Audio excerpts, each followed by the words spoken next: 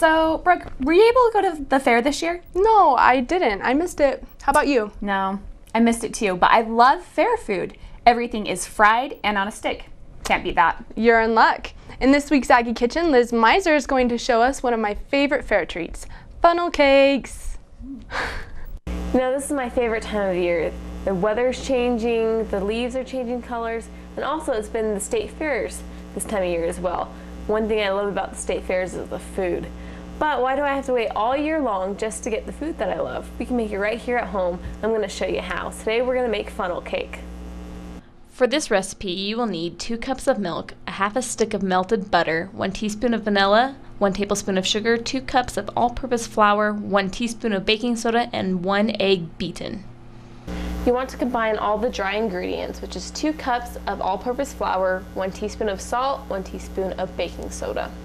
In another bowl, you want to put all the wet ingredients 2 cups of milk, and a teaspoon of vanilla. Separately, you want to beat one egg. And once you have that egg beaten, you want to combine the wet ingredients into a larger bowl. And then slowly mix in the dry ingredients.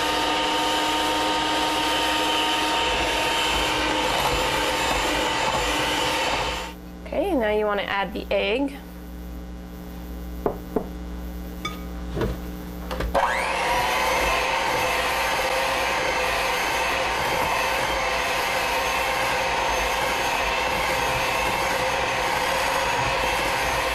Now's a good time to go ahead and heat up your oil in a fry pan. You want to have the oil to be about an inch thick. While the oil's heating up, you want to mix in a half a stick of butter or four tablespoons of butter. And you want to be able to fold that right in there. Now, it wouldn't actually be called funnel cake unless you use a funnel. All right, go ahead and fill that funnel up, but make sure you keep your finger the bottom of it so it doesn't drip out. And pour into the hot oil.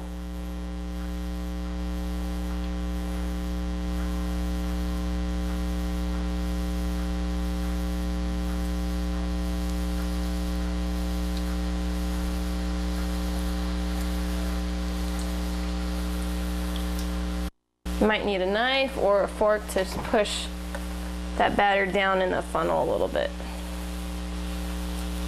Take some tongs and go ahead and flip that over.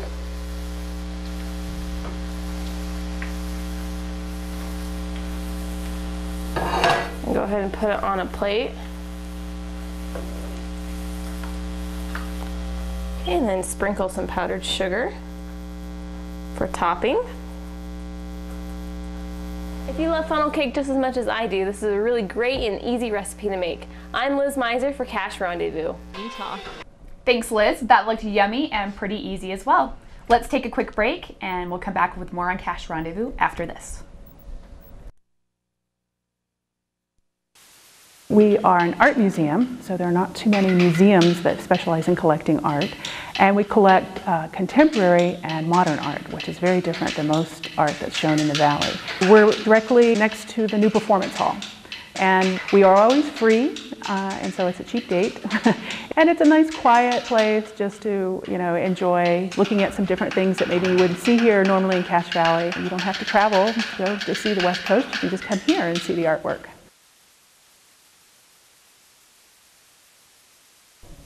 Welcome back. So, when I was younger, I had all kinds of dreams and wishes. I'm sure we all did and still do, but how often is one of your wishes just to be healthy enough to go to school? Well, I did spend a little bit of time in the Czech Republic, and Czechs always said na zdraví, which means health to you. Try it, Brooke. Na zdraví. Na zdraví. Good. Brooke, you must be a linguist. Well, one young girl's dream is just that. I talked to her, and this story will tug at your heartstring- heartstrings on this week's Cache Inspiration.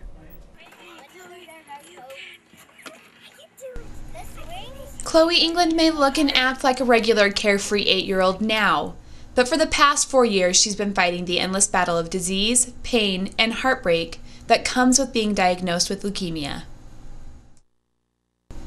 On March 4th of 2005, Chloe, at the age of 4, was diagnosed with leukemia.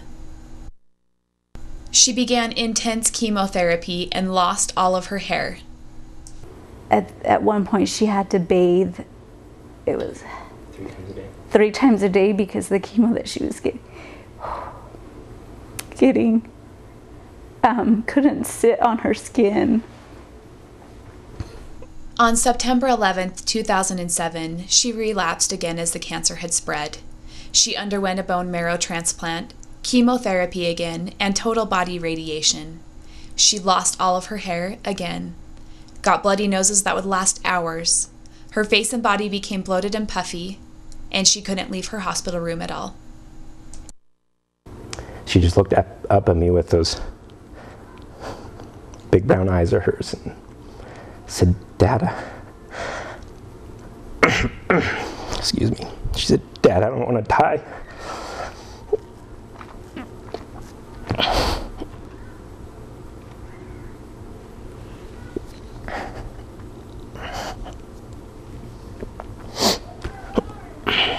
I think that was the hardest date for me.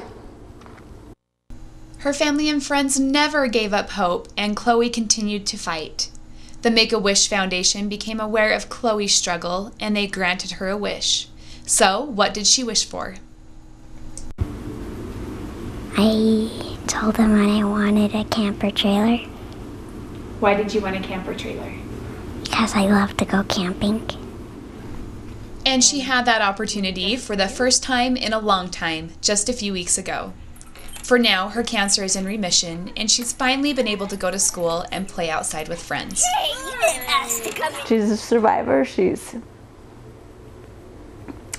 um, old beyond her years. For Cache Rendezvous, I'm Janelle Hansen. Chloe and her family plan on spending a lot of time camping this fall. She also looks forward to getting her ears pierced next month if her health continues to improve. Do you ever wonder, Janelle, what all the events are in historic downtown Logan?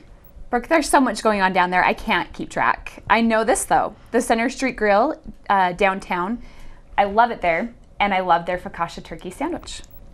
Well, Janelle, little do you know, there is more to downtown than just food. April Larson took one of took a, a tour on the se- seasonal gallery walk. Last Friday, people strolled along Main Street to take in some art by local and visiting artists. Every season, the Alliance for the Varied Arts, or AVA, hosts the Gallery Walk to get more people interested in art and programs they offer. The stops along the way are mostly downtown businesses hosting the work of various artists. A lot of them feature local artists, uh, like Trent Goodmanson is at the Art Center, and um, Jerry Furman is over at Furman's Framing. So, yeah, that's always fun to do local artists. I like that uh, Murrayman's. Was it Furrigan's?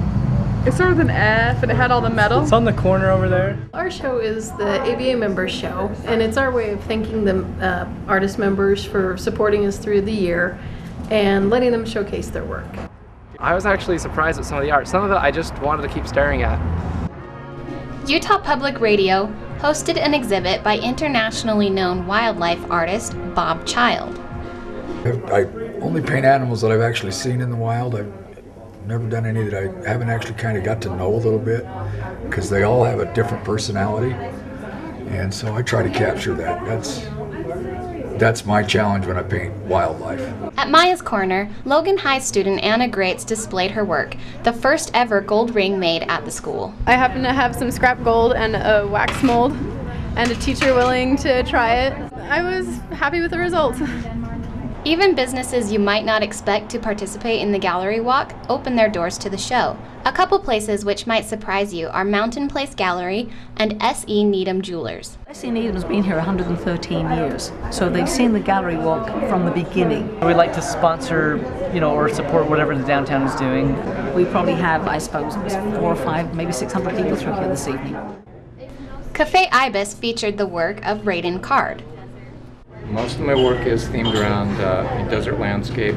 I want the people to have the same emotional response that I have while I'm out in the desert. And so I kind of punch up the color a little bit to make people really look at it and to really, you know, like get that impact. There's nothing like a nice walk, quality art, and some light refreshments. For Cache Rendezvous, this has been April Larson.